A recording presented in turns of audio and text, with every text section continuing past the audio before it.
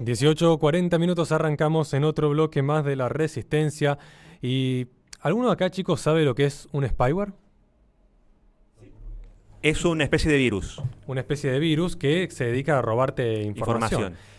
Y, y, a ver, ¿qué es, por ejemplo, lo que hace el sistema operativo Windows 11, por ejemplo, no? Agarra información y sin el consentimiento de los usuarios, la sustrae y la vende a las empresas. Eh, lo cual, a ver, se podría decir que Windows 11 es una suerte de spyware, ¿no? No sé si se podría clasificar como virus, eso ya, bueno, tendríamos que verlo en, en función de cada cosa, pero en función de spyware se podría decir que Windows 11 es un spyware. Y uno lo puede ver a la hora de eh, instalar este Windows o de iniciarlo por primera vez. Uno puede ver que tiene ciertas eh, cosas que puede aceptar, no puede aceptar, eh, para determinar cuánta información puede compartir o no con Microsoft. Pero ¿cuál es el problema? Que Microsoft te da dos opciones. Compartir toda la información o compartir alguna información. Acá nos está faltando una, una tercera patita que debería Nada. decir no compartir información privada con Microsoft, porque después de eso eh, Microsoft, eh, según la, la base y condiciones, no sé cuánto puede eh, venderla, ¿no?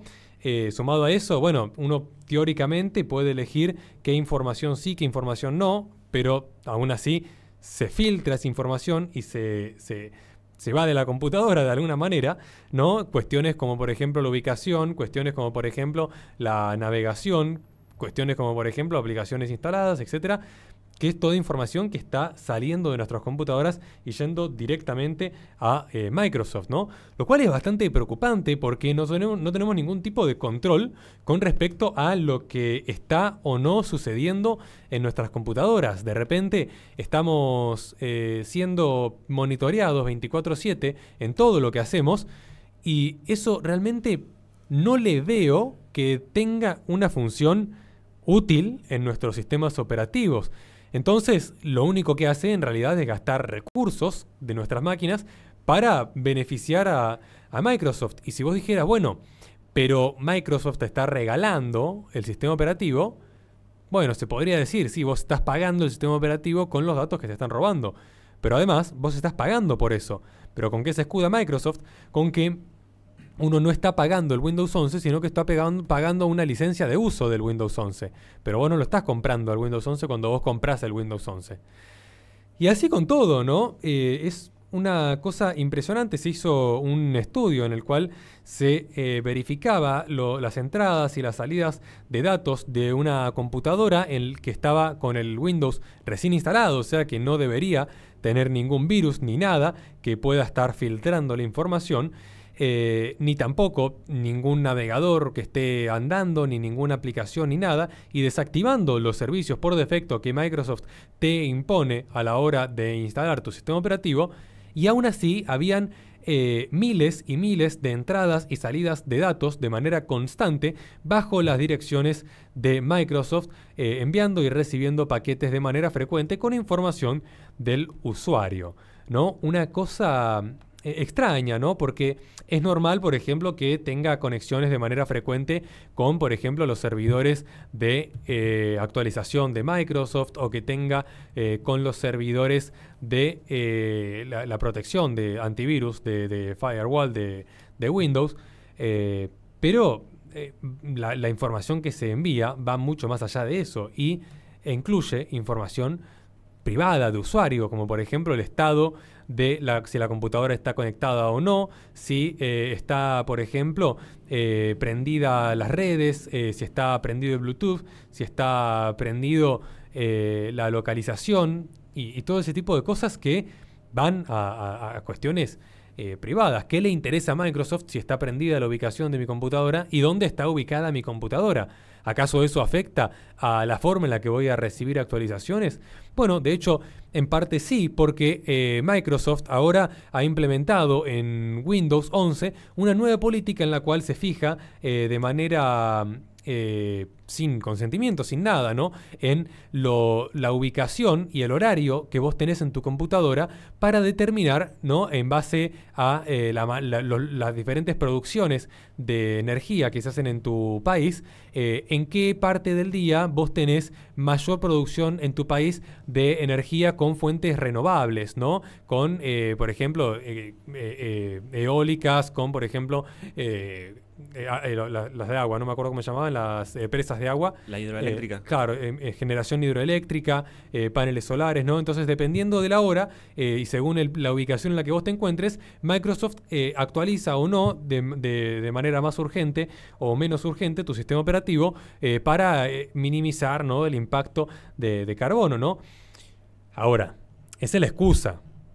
La realidad es que está de manera constante y, peri- y- y- y periódica monitoreando la ubicación de tus dispositivos para saber en dónde estás, eh, de qué manera estás conectado a Internet, eh, qué cosas tenés conectadas, qué cosas no tenés conectadas. Y esa información que, según las propias bases de ellos, venden a clientes para eh, gestionar publicidad. A pesar de que uno desactive por defecto esas funciones, de que uno desactive, por ejemplo, la monitorización de esas cosas, o de que uno desactive por defecto la publicidad personalizada de Microsoft. Entonces, me parece algo más que preocupante que un software al cual uno no le está permitiendo hacer ese tipo de monitoreos, que lo haga de manera arbitraria eh, por voluntad propia del propio software. Eh, en donde yo conozco, eso es un spyware. Es un software dedicado a el espionaje. Porque en Windows 10 estaba, se podía sacar todo esto. esta- sí, esta- hasta ahí también, muy poco. La ubicación, por lo menos. Sí, la, la ubicación es más, más, más fácil, ¿no? En Windows 10. Pero todas las cuestiones de telemetría vienen por defecto activadas e incluso si vos las desactivas, se activan de nuevo de manera eh, periódica sin que vos lo, lo quieras, ¿no? La telemetría de Windows es una cosa eh, impresionante cómo va en contra de la propia voluntad del usuario. Prueben desactivar funciones de Windows, no desde eh, el control general, ¿no? Por ejemplo, entrando en el registro y bloqueando desde el registro todo ese tipo de funciones, sino desde la configuración de Windows y van a ver que van a pasar unos días y se va a volver a activar sola las cosas. Entonces, es una cosa, eh, pero eh, totalmente... no, no, no sé, no me salen ni las palabras, ¿no? Porque no tiene, no hay forma de justificar que Microsoft esté recopilando información que uno le pidió explícitamente que no recopile y que uno desactivó esas funciones y que te eh, de manera arbitraria te las vuelva a activar para poder seguir recopilando información tuya. Sobre todo con una actualización. Actualizás y te- se vuelve a reactivar. Claro. Y después, bueno, tenés que volver a desactivar. Eh, uno, lo- el que sabe lo hace, ¿no? Pero la mayoría no, no se pone en eso tampoco. Entonces, Claro, ¿no? Entonces, eh, no es un virus porque vos lo estás instalando de manera... eh, Aceptando las aceptándolo, pautas, digamos, ¿no? Y todo, ¿no? Pero sí es un spyware, es un software que se dedica a espiar. ¿Se podría catalogar como troyano? Puede ser, ¿no? Porque uno, ¿qué es, qué es un virus troyano? Es un software que uno descarga que teóricamente tiene una función y que por detrás está cumpliendo funciones que uno no le pidió a ese software. Eso es un virus troyano.